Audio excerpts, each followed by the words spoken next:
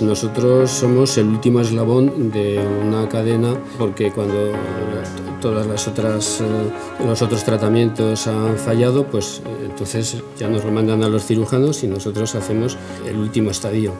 la cirugía. Las técnicas quirúrgicas que empleamos son fundamentalmente hay dos tipos. Están las técnicas restrictivas,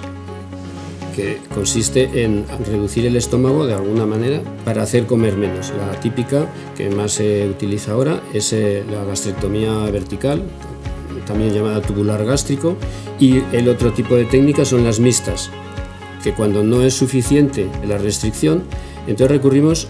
al bypass gástrico, que además de una restricción gástrica, se realiza un,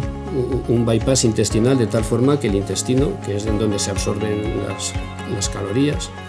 el intestino delgado es más corto.